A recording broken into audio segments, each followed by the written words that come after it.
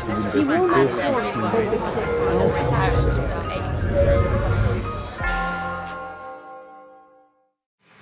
welcome to the 26th Hintze Lecture in the Department of Physics at Oxford. I'm Stephen Smartt. I'm the Philip Wetton Professor of Astrophysics, a position generously endowed by Philip and Roswitha Wetton, who are both with us uh, here tonight. Uh, and I'm Director of the Hintze Centre here at Oxford. This is the 26th lecture in the series, uh, and we are, as always, delighted to thank and welcome Lord Michael Hintze and Lady Dorothy Hintze here, and uh, thank them for their generous support of astrophysics in, in Oxford. Uh, the Hintze Charitable Foundation supports us here with six early career researchers, three DPhil students, and three uh, postdoctoral fellows. And in the Hintze Centre, we're primarily focused on observing the universe on the largest scales, observing the sky in novel ways, whether that's in the time domain or at different wavelengths and new wavelengths. It's been a very successful year for us. Uh, two more of our Hintze scholars, Peter Watson and Amy Knight, completed their DPhil uh, and graduated, moved on to new positions, and we recruited three new Hintze fellows. Uh, Rob Fender was awarded a 13 million euro ERC Synergy grant, and Chiara Spiniello was awarded an STFC Ernest Rutherford Fellowship, one of the top UK fellowships for independent scientists. And so these lectures bring us together, uh, you, students, postdocs, department staff, friends of, of the department, to hear from a speaker with an uh, international reputation uh, for their research. And just before I introduce the speaker, I just want to advertise the, uh, the student, the undergraduate student astronomy society the Oxford University Space and Astronomy Society. It's back after a short hiatus. Uh, any undergraduates or postgraduates in the room, if you would like to join, uh, it's free to join. Uh, Shubham Kulkarni, the leader, the head of that, the president of this society, is here tonight. And uh, they have weekly stargazing, astronomy, and space themed talks. Um, and they're looking for members for the new academic year. So if you'd like to join, just go to this, uh, this website. So, our speaker, it's a pleasure to welcome our speaker, Professor Laura Kreidberg from Max Planck Institute of Astronomy in Heidelberg. She's a world leader in studying planets that lie beyond our solar system and understanding the composition of their atmospheres uh, of these planets. And as you'll hear, ultimately, this work aims to understand their composition, the structure of the atmospheres, and the habitability of these distant worlds. Laura was an undergraduate at Yale and then completed her PhD at the University of Chicago. She had six years at Harvard as a postdoctoral fellow, including the prestigious Clay Fellowship at Harvard. And then she was plucked by the Max Planck Institute as a director in 2020. Quite an unusual career trajectory. Um, if you know the positions as director of Max Planck Institutes, she is now in charge of a major initiative uh, called the Atmospheric Physics of Exoplanets Department uh, at Max, Max Planck, and she's going to head up a group of around 20 young scientists. Uh, so using space-based telescopes, she's going to tell us she's detected water in the atmosphere of several exoplanets, detected evidence for clouds in these systems, and has been awarded several prizes for her work, uh, including the 2020 Annie, Annie Jump Cannon Award from the American Astronomical Society. In the department, we know Laura as a talented communicator. That's why she's here tonight. And the question of life elsewhere in the universe is something that certainly fascinates us all. So that's all for me, Laura. We are very much looking forward to your talk, and welcome to Oxford. Great.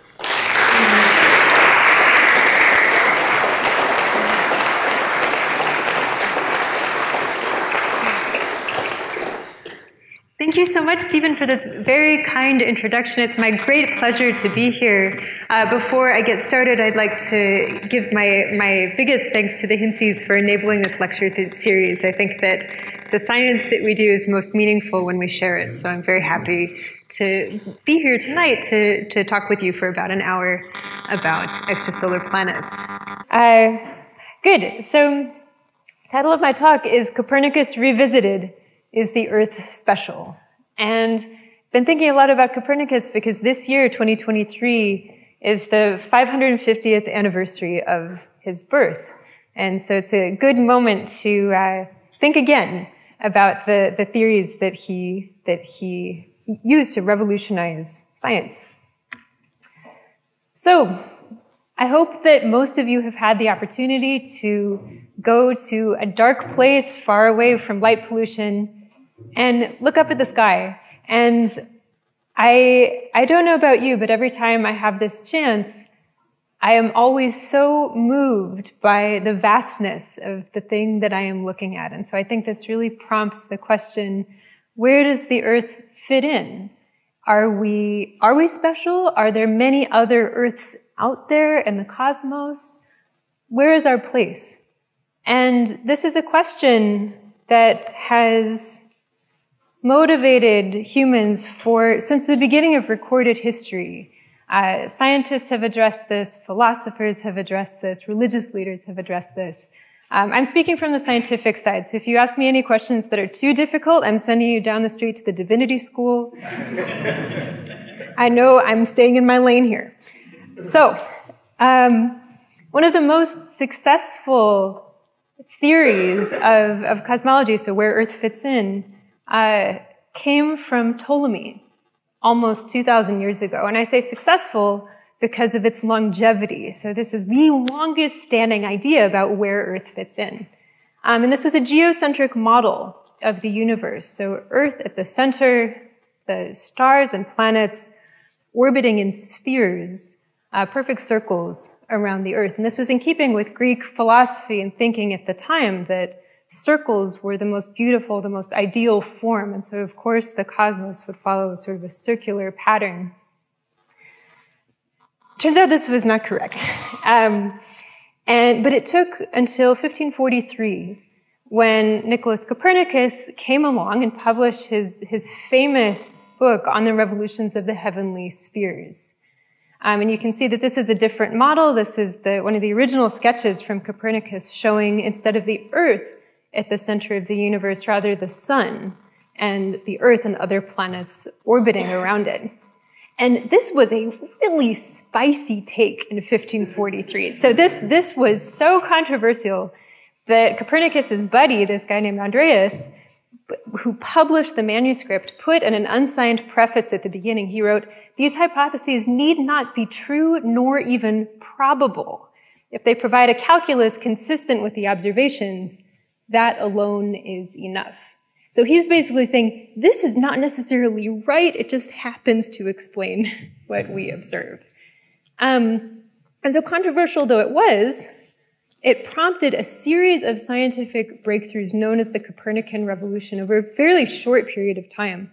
Uh, so next up was Johannes Kepler, who developed his um, famous laws of planetary motion, finding that the planets are not actually orbiting in circles, but rather in elliptical orbits uh, with non-uniform motion in the sky. Um, and he kind of, you know, dug in his heels. He's like, finally, the sun itself will melt all this Ptolemaic apparatus like butter. So that was a that was a 17th century burn. Um, then the next year, Galileo, uh, most famously with his telescope, observed the moons of Jupiter in orbit around Jupiter. And so this was, with his own eyes, he saw something in the solar system that was orbiting a body that was not the Earth. He also observed the phases of Venus, the motions of sunspots. So you put all that together, and it, it's true. Ptolemy's model does melt like butter. And then it took a bit longer, but towards the end of the 17th century, Isaac Newton finally proposed a theory that tied everything together. So this was the universal law of gravity, that the forces, the attraction between objects is proportional to the inverse square of their distances. Uh, and with that, he sealed the deal. This was truly the end of the heliocentric model of the universe. Sorry, geocentric model of the universe. This was the paradigm shift to the heliocentric model.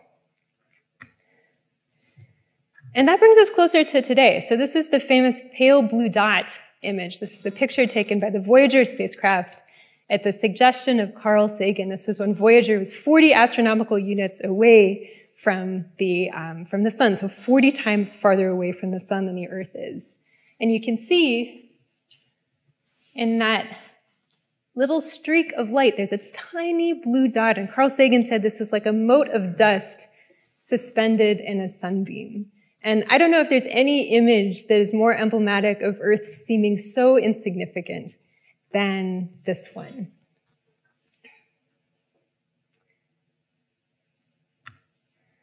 And not long after that came the discovery of the first extrasolar planets. So until 1995, there were no planets known outside of the solar system. Uh, but you can see in this timeline here, this is showing the number of planets discovered versus the year. There's been this exponential increase in the number of worlds known outside of the solar system. We're at now over 5,000. And Martin Rees, who many of you probably know, he's the astronomer royal, uh, I met him, we were like waiting in line at a conference, and he was asking me, What do you do? And I said, Exoplanets. And he's like, Huh. Yes, a, a Copernican demotion of the grandest scale. And, and I thought, man, I really need to work on my small talk. Like, I, I think, you know, if I, you know, if I ever want to be astronomer royal, I need to be a little bit more lofty in the things that I say. But he was, he was right. So this is, um, you know, it, uh, now we know that the universe does not orbit around the Earth, that actually there are many, many, many planetary systems that look just like ours um, around other stars. And if you break some of these detections down into statistics, what we've learned from the number of stars that we have searched, the number of planets we've found, we know that on average, every star has at least one planet, probably more than that, uh, because we haven't been able to search for the smallest planets or the most distant ones yet. We've also learned that small planets are more common than large ones. So planets smaller than Neptune are something like 10 times more common uh, than planets larger than Neptune. And perhaps most excitingly, something like 10 to 20% of stars host a planet that is somewhat Earth-like. And so the big question mark is what I mean about Earth-like. But um, for these purposes, I mean something that's roughly the same size and same temperature as the Earth. But let's break that down a little bit more. So, so what truly does Earth-like mean? What makes Earth a good environment for life to exist? And this is a very rich topic with many, many different opinions. Um, if you ask a biologist, if you ask a chemist, they'll tell you very different things. Um, but from an astronomical perspective, in very simple terms, uh, we think that having a solid surface is very important for the origin of life. It provides a stable environment for complex molecular structures to form.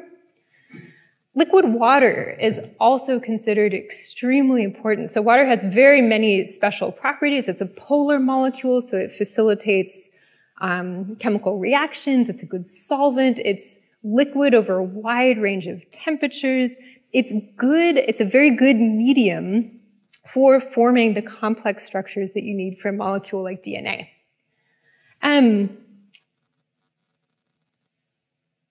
yes. Oh, that's right. So another, another important point about liquid water is that there's a lot of it. So if you look at the most abundant atoms in the universe, after hydrogen and helium, the most common things that you get are carbon, nitrogen, and oxygen. So at the temperatures that you would get on a planet like Earth, that those oxygen atoms are going to be found in the form of water. And so if you think about what ingredients you have available for life to arise, water is a good bet. Um, and we, we think that it may be out there on many of these exoplanets. So if you observe the Earth as an exoplanet, this is the type of thing that you would measure. So this is a spectrum uh, of real Earth. This is taken from actually light from the Earth bouncing off of the moon, which is a really clever type of observation. And I've marked here different spectral features from the key molecules that are present in Earth's atmosphere. So you can see here there's ozone, that's O3, oxygen, water, methane, and carbon dioxide. And if you measure a spectrum like this for an exoplanet, you would know instantly that something was up. Um, because there's both oxygen and methane clearly visible in the spectrum.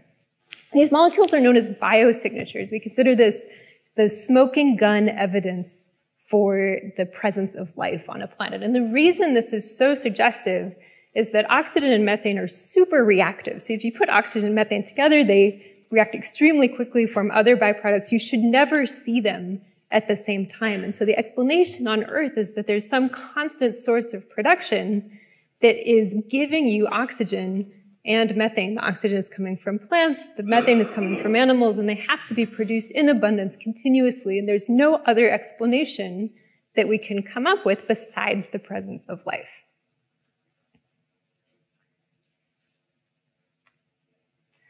So the question is, now that we've found these 5,000 plus planets, can we find evidence for life on any of them? And I'm bringing us back now to a Hintze lecture from almost 10 years ago. Some of you may have been here for this. This is Dave Charbonneau, professor at Harvard, um, who laid out a path for how we actually start to search for evidence for life on other planets. And he calls this the small star opportunity. And to illustrate why small stars are such a good starting point for our search, I've drawn them on this slide approximately to scale. Uh, so a planet the size of Earth is that black dot on the left. An M dwarf star, this small red star, um, is shown with the red circle. And then a star like the sun is shown in yellow. And you can tell just by looking at this that um, the size of Earth relative to one of these dinky M dwarf stars is much bigger than it is relative to a star like the sun. And so that makes our job of characterizing the atmospheres of the planets much, much easier. And not only that, but these smaller stars are the most common type of star in the galaxy. So sun-like stars are actually relatively rare, and most of, so that means that most of the rocky planets in the Milky Way orbit a star like this small red M dwarf. So that's where we're beginning. And now, what are we looking for? So I, I, showed a few slides back, beautiful spectrum of the Earth itself with all of those features from oxygen and methane, carbon dioxide, water, ozone. I'm going to step back a bit because this is astronomy. We start at the beginning. We have to walk before we can run. And so I think some of the first questions we should ask about these rocky planets are, do they have atmospheres at all? We don't know that. If you look at the example of the rocky planets in the solar system, you can see there's quite some diversity of atmosphere versus no atmosphere. Mercury essentially has none. Venus has a very thick atmosphere made mostly out of carbon dioxide. Earth's atmosphere is fairly nice. Um, Mars has a bit of an atmosphere. It's made mostly out of carbon dioxide, but it's only about um, uh, less than a few percent the thickness of Earth's. I'm showing, does anyone know what this, what this thing is second from the right, the kind of yellowish blob? Any guesses what that is? Titan, some of you know. Ray knows. Um, so, so Titan is a moon of Saturn um, that has an atmosphere dominated actually by methane rather than water. And so this is another type of diversity that we could expect for exoplanets. And then finally at the very right, that's Pluto. And Pluto has a little bit of an atmosphere made mostly out of nitrogen. It's very, very thin. It's very, very cold. It can collapse. Um, but it still holds on to a little bit. So this is just a kind of like the solar system is a good place to search for inspiration for what to look for for rocky planets outside. Um, the formation of atmospheres on rocky planets is an extremely complex process. It has to do with everything from the delivery of icy material during the planet's formation to how that material can outgas from volcanic activity over time to um, whether any atmosphere can be lost, it can escape, it can be eroded by high energy stellar radiation, um, and the atmosphere can also be affected by the presence of life. And so the complexity of all these different factors interacting with each other makes it extremely difficult to predict a priori what types of atmospheres we should be looking for. And so this is, so I, I, I like to look to the solar system for some ideas about what might be appropriate. Okay. So how do we actually study the atmospheres of planets outside the solar system? And there's a couple ways to do it, but my favorite technique is to observe planets that are transiting their host stars. And so transit is when a planet passes in front of its star that causes a small drop in the brightness of the star. You can see here in this example, the larger planet oops, um, produces a deeper transit. So here's a smaller, more Earth-like planet. And then if you have something like Jupiter, you get a larger signal. And what happens during a transit is that a little bit of the starlight can filter through the planet's atmosphere. And at wavelengths of light, where the atmosphere is more opaque, the, it, the planet blocks more stellar light. And so it appears to be just a little bit bigger. This is somewhat analogous to, uh, to give like a more relatable example, if you look at your hand, you can't see through your skin, right? At optical wavelengths, you can't see through. But if you take an x-ray of your hand, you see straight through the skin down to the bones. And so this is the same type of wavelength dependence where sometimes you can see through, sometimes you can't. And so by measuring the size of the planet at many different wavelengths of light, we can work backwards to determine the chemical composition of the atmosphere. Here's a nice example of this from Earth, so you can see it with your own eyes. This is what the Earth looks like in real color. You can see the moon in the background just for scale. Um, and a thin blue ring separating the Earth from space. That's um, caused by Rayleigh scattering in the atmosphere. It's the same thing that makes the sky blue. But if you move to a different wavelength of light, you see something different. So here's Earth in the infrared. And if you look carefully, you see where the arrow is pointing? You can see that Earth is a little bit smaller, a little bit more transparent in the infrared than it is in the optical light that our eyes can see. Now, if you move just a little bit farther red, you get something like that. Um, and that is because ozone is present in Earth's atmosphere and it's extremely opaque at this particular wavelength. And so this is a unique fingerprint of which molecules are present in Earth's atmosphere. This is exactly the same type of measurement that we want to make for exoplanets. And of course, it's much, much harder when your planet is dozens of light years away than it is um, if you are trying to do this from right next door on Earth. But this gives you the idea of what we're trying to measure. Okay, is everybody with me? Yes. Good. I'm a professor in my heart, so I have to teach you something tonight. Okay. So, for the past maybe 15 years, we have been practicing this technique, mostly looking at planets that are bigger than the Earth. The larger the planet is relative to the star, the easier our job is. And we have gotten some pretty spectacular results. So this is the spectrum of a planet that's the same size as Jupiter. Um, you can see here this is showing the size of the planet, so larger radii is up on the y-axis, and then bluer light is on the left, redder light is on the right. And you can see all this structure. There's peaks, there's valleys in the spectrum, and in particular, this, uh, I think you can't see my cursor, no. Um, the biggest bump is exactly what we would expect from strong opacity from water. And when I first started working on this topic, I was dumbfounded by this. I thought water was something that was so special. But actually, in the universe, water is all over the place, particularly at these lower temperatures um, where it's chemically favored. And so, one of the things we've learned from these Jupiter sized planets is that water should be expected. Um, and the, the only question is can you get it onto the smaller planets as well? So this motivated a push to smaller worlds. And I want to introduce you to one planetary system in particular that is famous because it is so good for atmosphere characterization. And it's called TRAPPIST 1.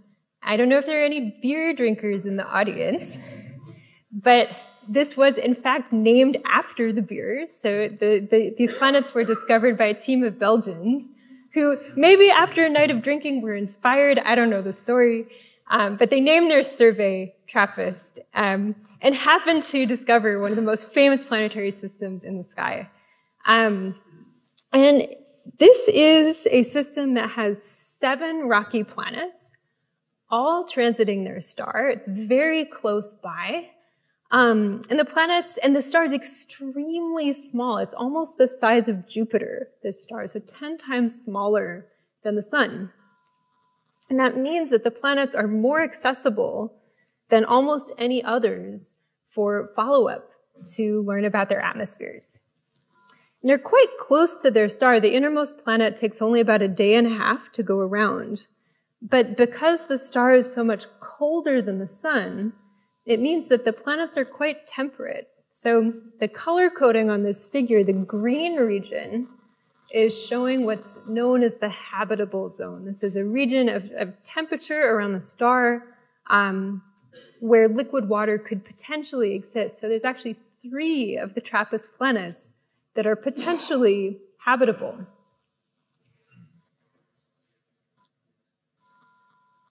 So, of course, everyone was super excited to take a look at this. Uh, we turned Hubble at it almost as soon as it was discovered. Uh, and this is what we found.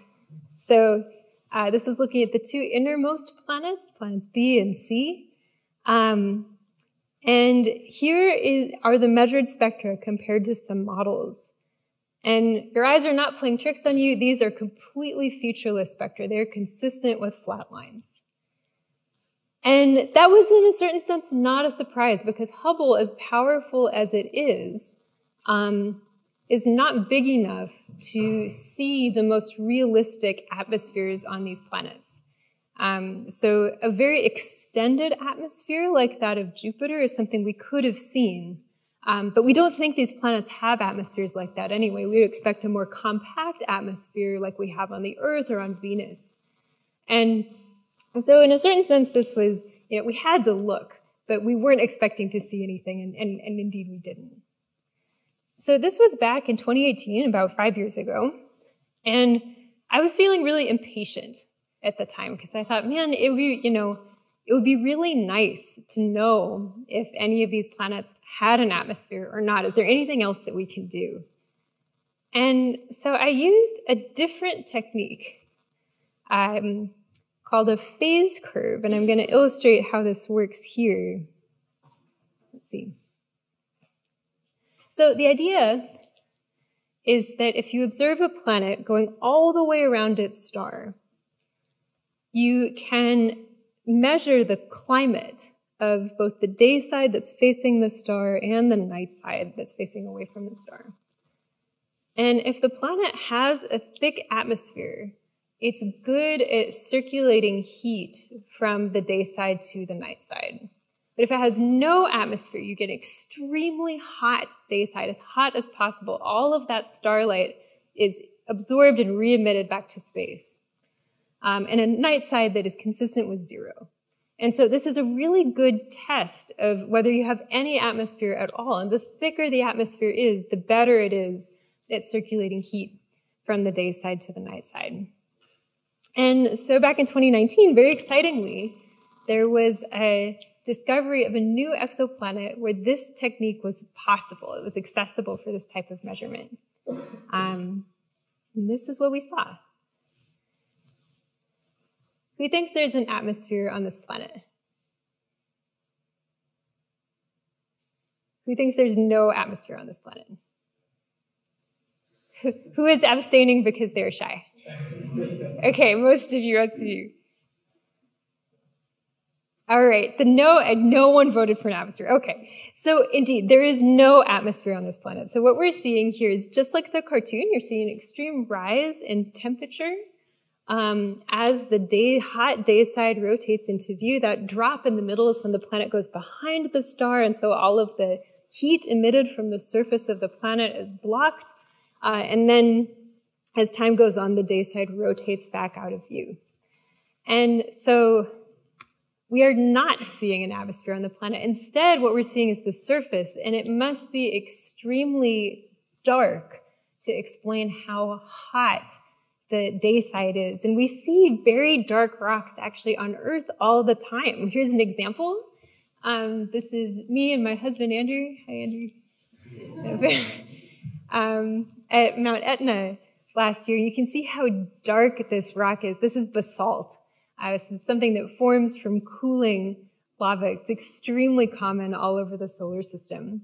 And so we think that this particular rocky planet has a, perhaps a past history of volcanic activity that covered the surface with lava that has cooled off to the now very dark rock that we see today.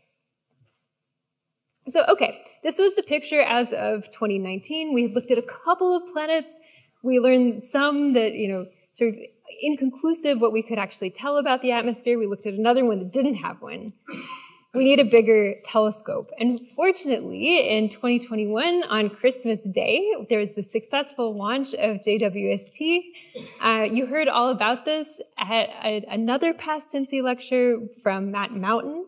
Um, the very short summary is that JWST has been decades in the making.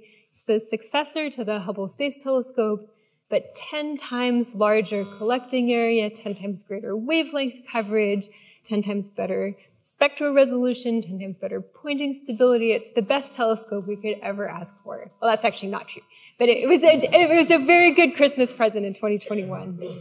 Um, and it has completely revolutionized the way we study exoplanet atmospheres. To give you an idea of a before and after, this is a hot Jupiter. Um, back in 2018, one of my colleagues, Hannah Wakeford, measured the spectrum of this planet. It was just those two single points, those two blue crosses. Turned on JWST. And that's what we get. This is so extraordinary. I mean, we were just guessing before. We were doing the best we had with very limited data.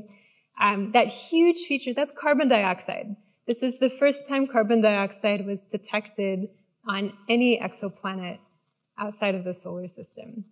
And the, it, one of my theoretical modeling colleagues looked at this and I said, "Are like, Paul, are you excited?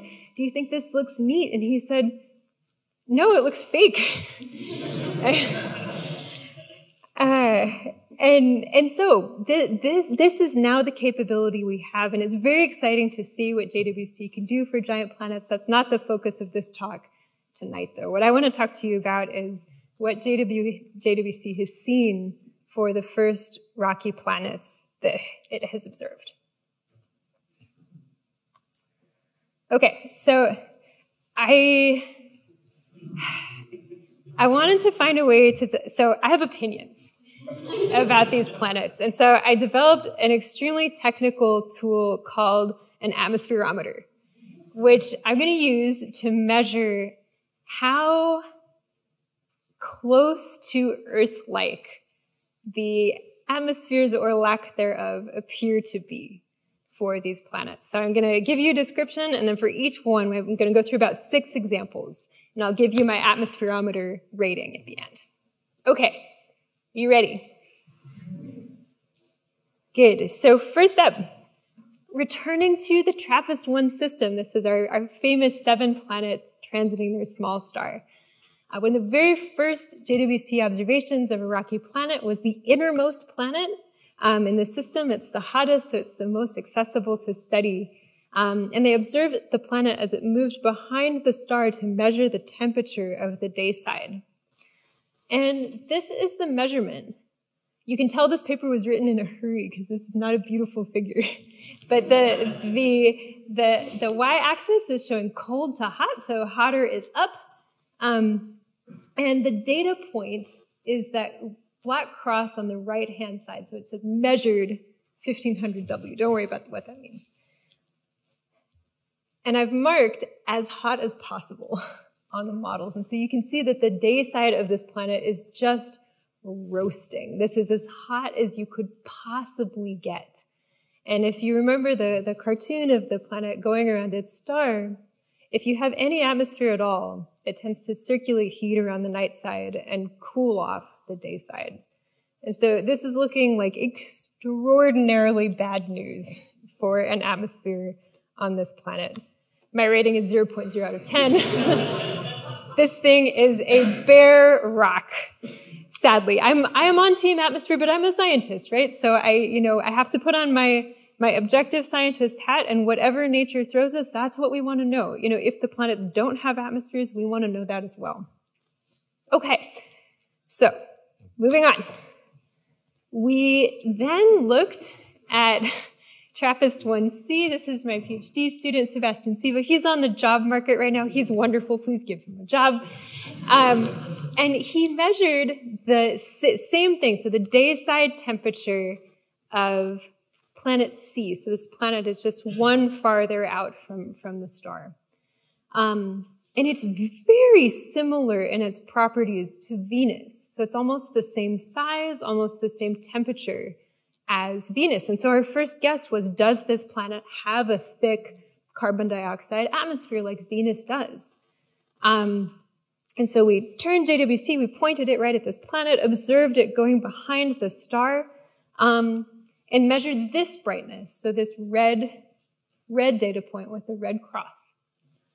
And I've again marked the hot as possible line, and you can see the TRAPPIST-1c is a little bit cooler. And so that is better news for an atmosphere. This could be caused either by a little bit of heat circulating around from the day side to the night side, um, or it could also be caused by a little bit of carbon dioxide in the atmosphere. We're seeing an absorption feature there.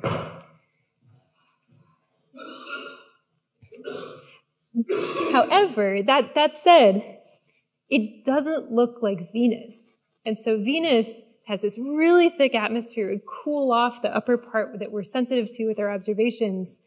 Um, and it would look something like this orange line that's too cold for our measurements to explain. And so while it's possible that there is a little bit of atmosphere there, it's not what we were expecting. We thought the most likely thing is this Venus size, Venus temperature thing would look like Venus, but that's not what we found. And so this is a, a hint, maybe, at some of the diversity that we could expect for rocky planets, that even if you take something that is the same size, the same temperature as something we know, we're getting a different answer. So my take on this planet is 6.2 out of 10. There's hope for an atmosphere, but it's not an atmosphere like Venus. Um, and it's not certain exactly what it's made out of or what its properties are. So this is, um, we've put in a follow-up proposal, fingers crossed that they, they go for it. Okay, next planet. Oop, ah, no, no, no, no, no, don't, no, everyone close your eyes. Erase, erase your memory, that didn't happen. Okay, so um, next planet is, is also quite a famous one. This planet is called K2-18b, and it is in the habitable zone of its host star, so in the temperature range where liquid water could exist. So everyone is really hyped up about this planet. It's bigger, though, than the Earth, so it's about 2.8 times the radius of Earth. And that means that it must, it has to have an atmosphere to be so extended, to be as large as what we observe for the planet. It's got to be an atmosphere there.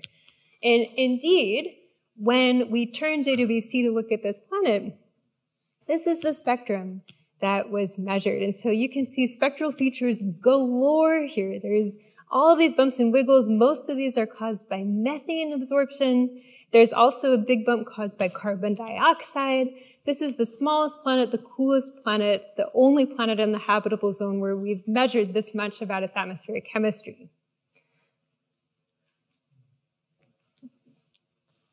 It got reported in the press as being potentially inhabited. And I would like to set the record straight on this. Absolutely no way is this planet inhabited? Now, let me tell you why. So,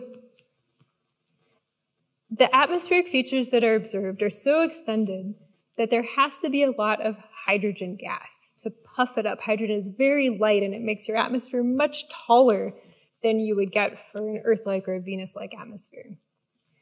That means that as you go deeper and deeper in the atmosphere, the temperature and pressure gets so high that you never reach a solid surface or an ocean. And we think, as I mentioned a few slides ago, if you want to form very complex molecules, you need a stable environment for that to happen. And so if you just keep going deeper and deeper and hotter and hotter, you reach pressures and temperatures where any complex molecule is going to be destroyed. And we think that's the case on this planet. And so even though it's in the habitable zone, this one is not habitable.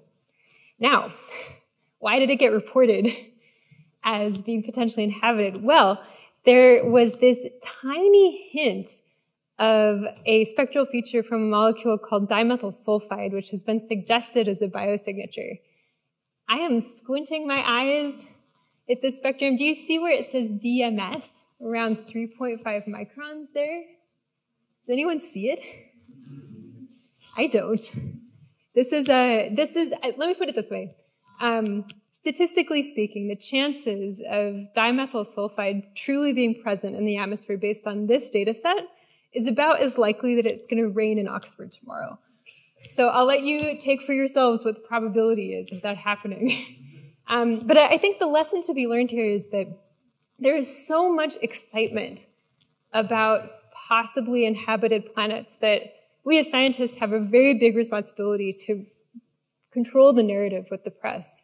Um, and so the, the discovery, the, the paper where this spectrum was published was was speculative. They said, I don't know, we'll look for some biosignatures, and they and they reported what they found in a way that was fair.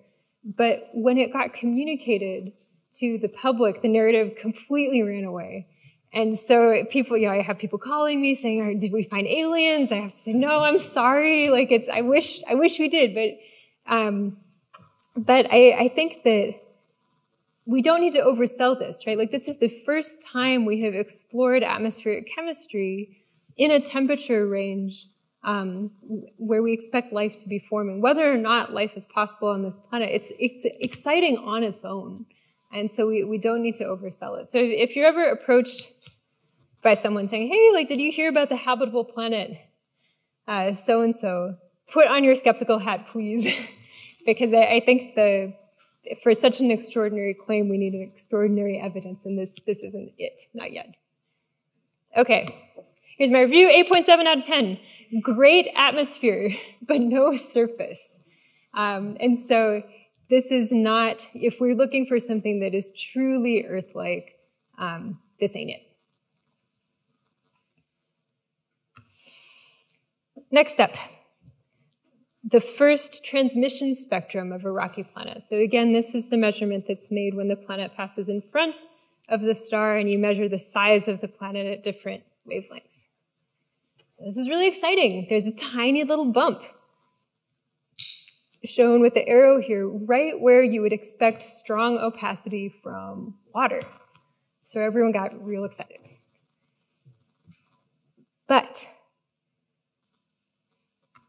it is not clear where this water feature might be coming from. Um, one of the problems with these small stars is that they're cool enough that the, there can actually be water in the star itself, not only in the planet's atmosphere. And so I'm showing here, there's cool spots at the top of this star that could have water vapor in them that would masquerade as the same signal that you would get from the planet's atmosphere on its own. And so this is a really tricky thing, right? If you go back to the spectrum, um, the blue model would be water from the planet. The orange model would be water from the star. And you can't tell the difference with these data. So I think on this one, jury is still out. we'll put this at 5.0 out of 10 because we're remaining agnostic, but this star is on notice we found similar things for um, another rocky planet that was observed a transmission spectrum, and this one was a little more concerning. So it was observed twice, and in the first case, there is the same little tiny feature that looked like it could potentially be from water in the atmosphere of the planet.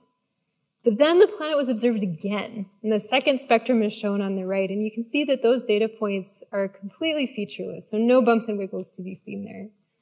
And we don't expect the atmosphere of the planet to be varying um, this much, certainly not this much, but the star is rotating and has spots that are moving in and out of our, of, of our vision. And so it's much more likely here that the feature is caused by the star and not by the planet. So this one, the star is really on notice. This one gets a 0.2 out of 10. Um, probably no atmosphere on this planet. And finally, we even went back and observed, went back and observed the very same planet that I first showed you that was a bare rock. And we even see spectral features for this planet. And so that is really, really strong evidence that we're seeing contamination from the star rather than the planet itself, since we have an independent line of evidence telling us that this planet has no atmosphere. So we're back here, at TRAPPIST 1b, 0.0 out of 10. Come on. This is, um, we know that the star is behaving really badly here. Okay, so the, that was the atmospherometer. I hope you liked it. Here's a summary or scorecard of what we have learned about these six planets that we have studied. Um, so we've got two so far that look like they have no atmosphere at all. We've got one with this very, very dark basaltic surface that we might expect from cooled off lava. Um, same thing for TRAPPIST 1b. We have three cases where the star is being really difficult, but it looks like if you correct for the stellar contamination, there's no signature left from the atmosphere of the planet. And finally, one with a hint of an atmosphere, uh, but not the atmosphere that we were expecting. So, astronomers, I love you all. I'm, I'm one of you. We, we like to make sweeping generalizations from very small amounts of information. And I'd like to bring it back to Dave Charbonneau. This was his take on what we have learned about the atmospheres of rocky planets. You know, Dave, Dave is Mr. Small Star Opportunity. He has sold us more than anyone, and now he's saying small angry stars and the many godforsaken rocks that orbit them. so, okay, all right, let's. I'm going to put my skeptical and my you know objective scientist hat back on here for a minute and say, look, we've looked at six things Two of them are quite conclusive, no atmosphere. The other four, it's harder to say. That we have no slam dunk evidence for an atmosphere yet. So I, I think it is safe to say that um, atmospheres are not incredibly common. You know, we're not seeing six for six where there's clear atmospheric features. This is only the beginning, though. So we have 30 more rocky planets that are scheduled to be observed with JWST just in the first two years. Um, this is a horrible screenshot of a giant spreadsheet I made that summarizes all of the observations that are coming up.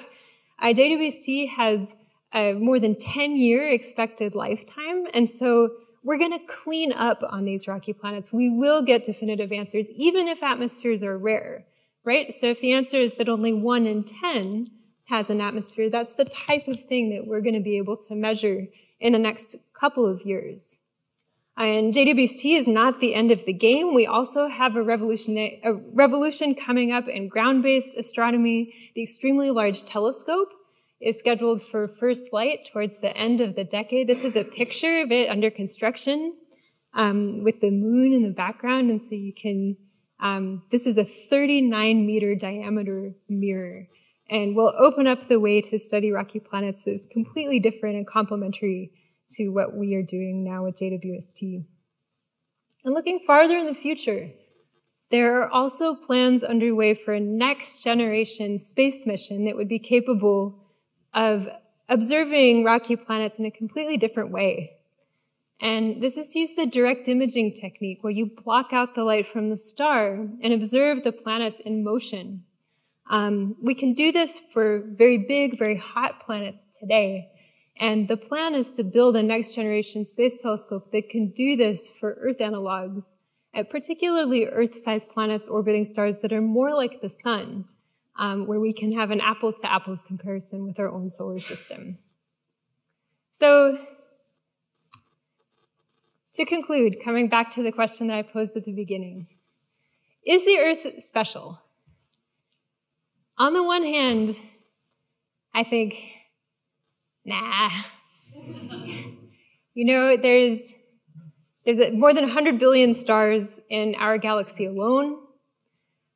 Call it 10% of those have a planet that is somewhat similar to the Earth in terms of size and temperature. That puts you at 10 billion potentially habitable planets just in our galaxy. By the way, there's also 100 billion galaxies. Um, even if 1% of those planets does have water and does have the right conditions for life, that is a number, I mean, even as an astronomer, I deal with these astronomical numbers all day. I cannot wrap my mind around how many opportunities that is for life. On the other hand, I think perhaps Earth is a little bit special. We're finding, you know, we've just started looking at the atmospheres of rocky exoplanets, and none of them look like Earth. We're not finding lots of evidence for loads of, of carbon and nitrogen and oxygen on these planets. And so perhaps Earth, while not unique, is somewhat rare. And so I say to Copernicus, take that. maybe, maybe there's something a little bit special uh, to Earth after all. So thank you very much for your attention. I'm happy to take questions.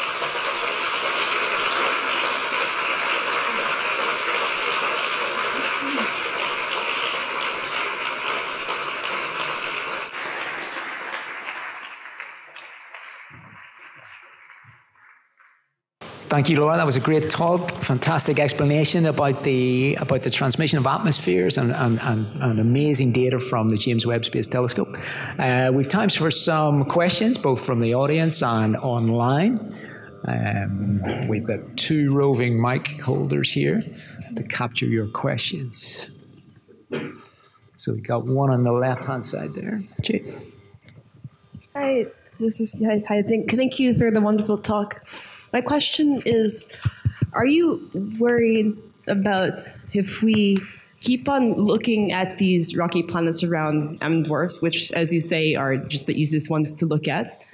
We keep on not finding an atm- atmosphere, say, because they're just very irradiated. Are you worried that people will just get bored or lose faith in like wasting all this telescope time, or is it not a waste? this is, I mean, so I'm a worrier. It's in my personality. So this is something I worry about. I think, I mean, I think regardless of whether the planets have atmospheres, this is something we want to know, right? If it turns out that none of them do or very few of them do, that is an, ex- you know, that is an extraordinary advance in our knowledge of where we fit into the universe. And so, of course, like all types of astronomy, there's a bit of a stopping problem, like how many is, is many. Um, but there's dozens that we can access. And so I, I think if it's, if, if we want to measure the like occurrence rate of atmospheres at the 1% level, we've got to just keep going. And I think it's an important enough question that even if it is a little disappointing, if they don't have atmospheres, we still want to know. Yeah, good question.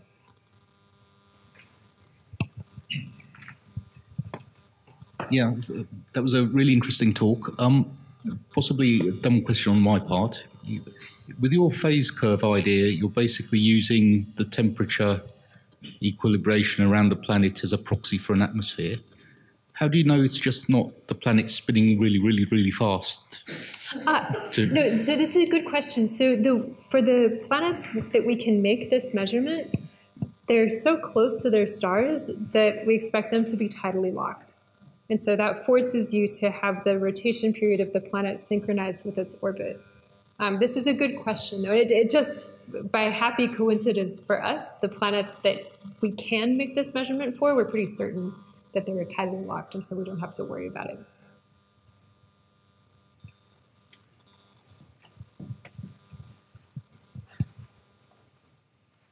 So I, completely agree with you about the implausibility of a habitable water ocean on K2-18b, but but but the uh, but uh, it is depending on water abundance, it's just barely possible for water to condense uh, into the upper atmosphere. So some people have proposed cloud life. And so, what do you think about prospects for cloud life out there in the universe? Oh, that's a good question. I mean, I think the you know this better than I do, but I, I worry about turbulence, where, you know, if you really want some kind of stable environment for your complex molecules to form. The extent to which that's possible in a cloud, I'm not certain. Another point against cloud life is that if you, I mentioned earlier that water is such a good um, medium for, for chemical reactions. If you're in the gas phase, then the likelihood of your like it just slows down the reaction time enough so that it may not be possible to produce the complex um, components of DNA fast enough for you to actually get to a complex life form. So I have my doubts. I'm not a biologist or a chemist, though. So I, I mean, it seems more difficult to produce life in that type of an environment, but I don't know. I never want to be the scientist who says it's impossible. Um, and perhaps nature is more creative than I am. Yeah. Say that again?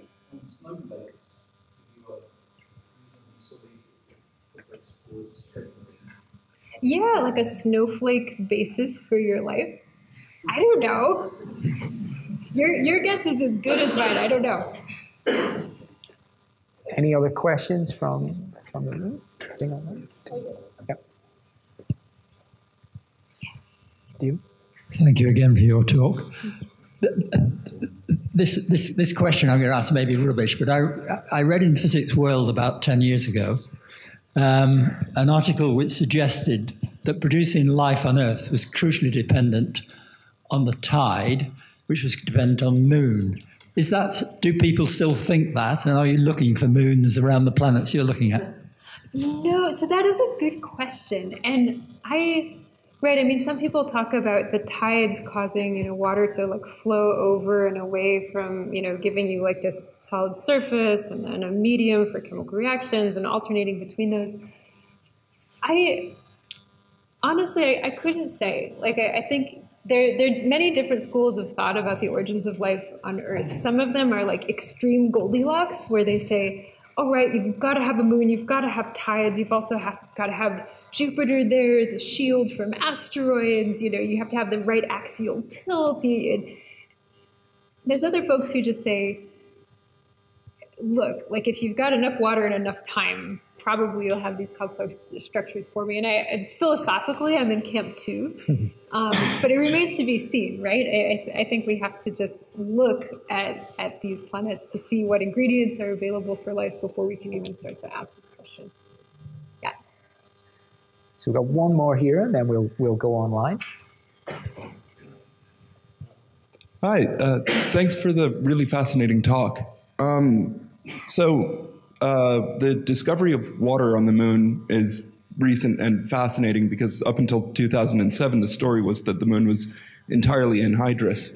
And um, you know, with the LCROSS impactor at Cabeus crater, as it turns out, in the permanently shaded regions, uh, the the regolith could be as much as five percent water by volume. Um, it seems really funny that all of the rocky exoplanets have a three micron water signature, right? Uh, do you think that this points to a situation where water might be ubiquitous on rocky planets, or? I think it's the star man. And I wish, I want to believe, I want to believe, but I think it's so much easier to explain what we're seeing with star spots, which we know have water and then we know the star spots are there. I think this is just the simpler explanation at the moment.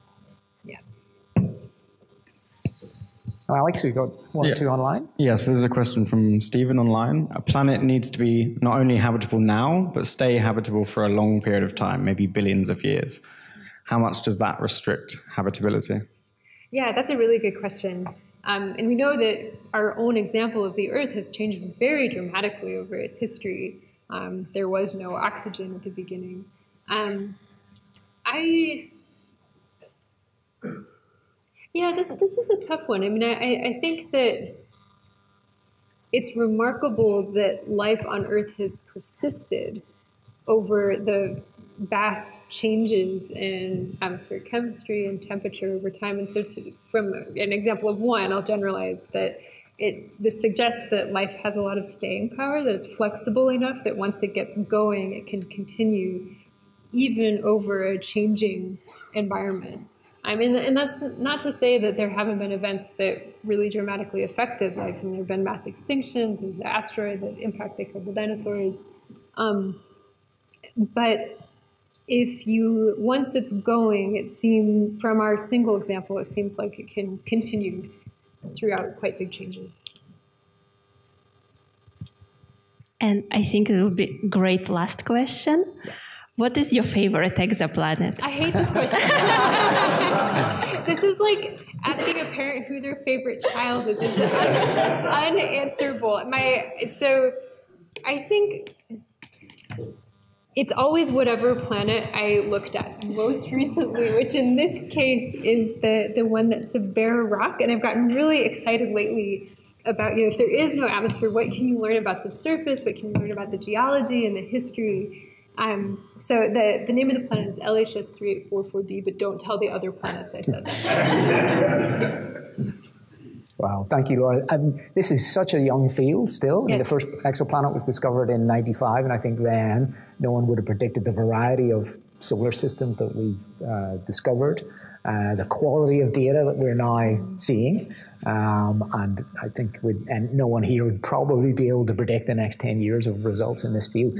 So uh, we look forward to hearing more from you and your group, the people here in Oxford who, who work in this, and it's a very exciting field for the next 10 or 20 years. So thank you very much for a wonderful talk.